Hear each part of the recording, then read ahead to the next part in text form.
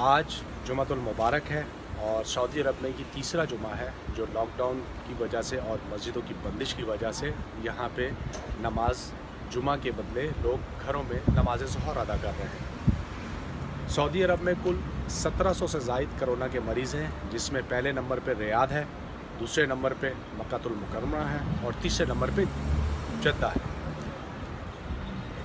کل سے سعودی عرب میں مکہ المکرمہ اور مدینہ المنورہ میں چوبیس گھنٹے کا کرفیو نافذ کر دیا گیا ہے۔ اور لوگوں کو کہا گیا ہے کہ وہ گھر میں رہیں اور مکمل طور پہ پابندی ہے مکہ سے مدینہ جانے کے لیے یا مکہ سے مدینہ آنے کے لیے۔ مطلب دونوں شہروں کے لوگ یا جہاں جہاں لاک ڈاؤن ہوا ہوا ہے، وہاں کے لوگ شہر چھوڑ کے نہیں جا سکتے۔ اسی شہر میں رہنا ہے اور اسی طرح سے شہر میں داخلہ بھی ممنوع ہے۔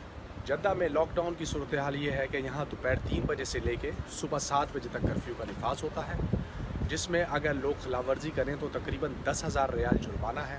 اگر آپ کو کوئی ایمرجنسی ہے، آپ کو ہاسپٹل جانا ہے، تو اس سلسلے میں یہ ہے کہ انہوں نے ایک یہاں پہ ایک نمبر دیا ہوا ہے۔ اس متعلقہ نمبر پہ آپ فون کر کے بتائیں کہ ہمیں یہ یہ ایمرجنسی ہے، جس کے بعد اگر وہ اس کو مناسب سمجھیں گے تو آپ کو ایک ایس ایم ایس ارسال کریں گے۔